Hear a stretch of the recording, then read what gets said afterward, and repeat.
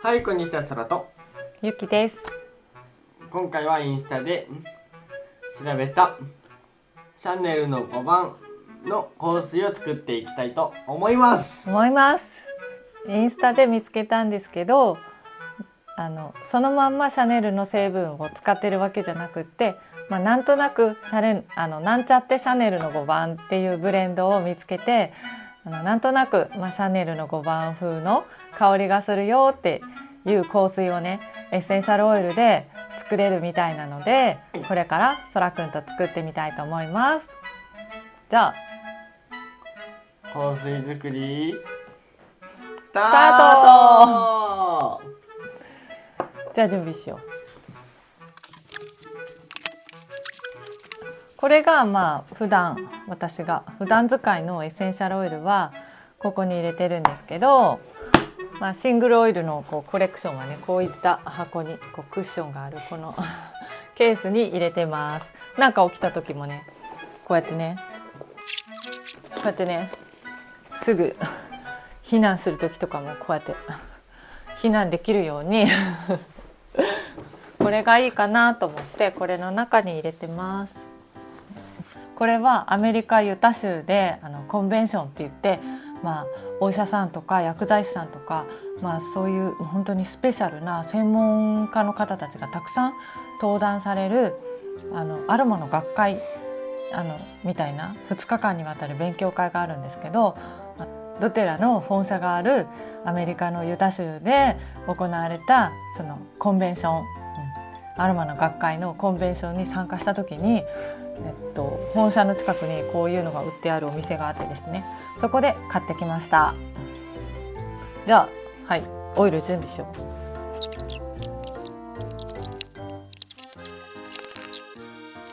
まず香水の材料を説明したいと思います。はい1本目は？1本目はレッチバこれが、えっと、2滴ですね。ー落ちない。イライイライラン2滴。ベルガモット。ベルガモット。2滴。バランス。2滴。ダグラスプー。2滴。クラリステージ。1滴。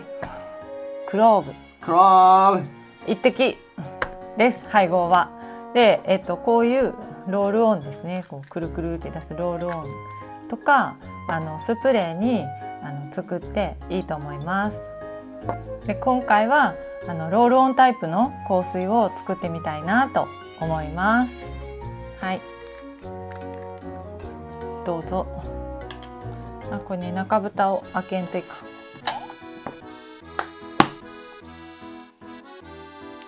ん。うーはい、開けました。じゃあどうぞ。はい。レチバ2滴なんだけど、えっと6滴？落ちないんだよね。ベチバは本当落ちないんだよね。すごく落ちにくいねっとりした重たいオイルになります。今やっと1滴落ちた。はい、オッケー。はい。ちょっとこれはつけておきうん、ますつけとってつけとかね足の裏につけるとですベチバはねあのグラウンディングあの根っこから取れたオイルなので足の裏につけるとねすごくあの地球とつながりやすくなります。でそらくん結構ふわふわしててねこんな障害のある子って。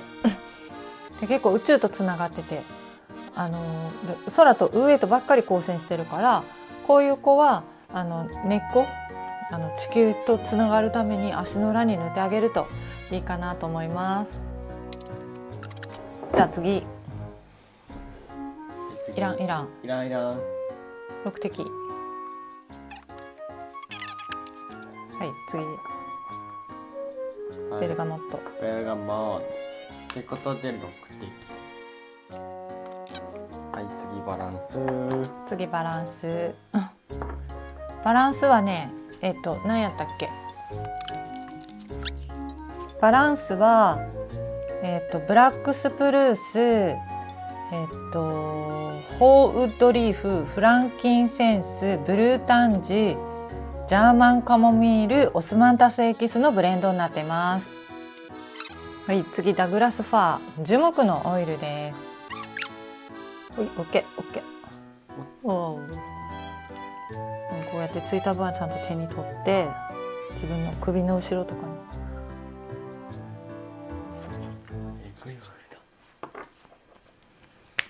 次。あこれが6666やったっけ？これ3滴。クラリセージ。こぼしたと。やるね。はい。塗ったらいいさ。塗ったらいいのさ。塗ったらいいのさこぼした分はさ。クローブ3ね6 6滴の3滴。はい3で容器にこのぐらい。3分の1ぐらい入りました。で私は結構濃ゆいあのか濃ゆいのが好きなのでまあココナッツオイルをこの半分この容器の半分ぐらい入れていきたいと思います。はい。いけてるいけてる。うんできてるよ。はいじゃあ振ります振りだ？あいいですね。混ざってますね。じゃあこれをあの女性のたしなみとして、えっと、香りたしなみとして香水つけてみましょう。香水って手首にこうつけてはい。こうやって。ここにねあの植物の純粋なエッセンシャルオイルだからねここ脈があるからねここから血管に入ってくれるんですよね。そしてで香りを楽しんで嗅覚から体に入れてあげてなおかつここの頸動脈からにも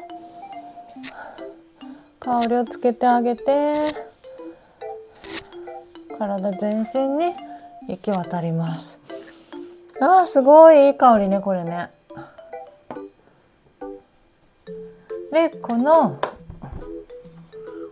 今回じゃあ作ってみてどうでしたか？すんごいいい香りだったのでうん。おすすめしていきたいと思います。シャネルのなんちゃってシャネル5番香水。すごくいい香り。おすすめです。でえっとこれいこのちょうど半分ぐらいの容器でえっといくらぐらいでできるのかなってこうあの何滴数とか計算したんですけど、えっと650円くらい、うん、650円くらいでシャネルの香水ができちゃいます。すごくお得だよね。お得。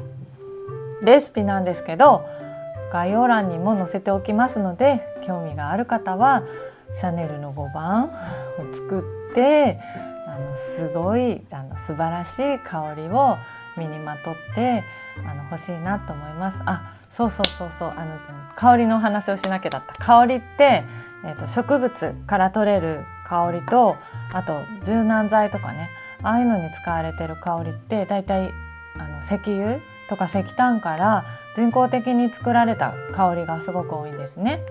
うん、でそういった香りがを体の中に入れるとどういったことが起こるかっていうと私も知らず知らずのうちにずっと使ってたんですけどあの本当に落ち着きが なかったりとかあのまあぐ子供あの本物の香りじゃないからね具合が悪くなったりとかあの気分が悪くなったりとかあんまり体にいい影響を与えることができないのでできればあの植物からできた本物の香りを皆さん自分の自分にも大切な家族子供にもあの選んでほしいなと思います。あ最初ちょっとあれね、うんえっとチャンネル登録高評価よろしくお願いしよろますしくお願いします。メディカルアロマに興味がある方は中島由紀の公式 LINE にもあの入ってみてください。えっと僕が僕の中島さらの変変な人クイズいきなり始まりました。えーっとえーっと僕が僕が声とかえーっと格好は変えないんですけど声とっていうなんか演技するので、うん。それそれを答えてくそれをそれを分かった人はごがコメント欄に書いてください。書いてみてください。まあわしはまあわしは子供のためならいつでも行くいい子のためならいつでも行くんじゃな、お父さ なんじゃ。っていうん。なんか違う。ってことで。わしはこの時期になると活発なんじゃよ。えー、じゃあじゃあ皆さんさいならのー。さよなら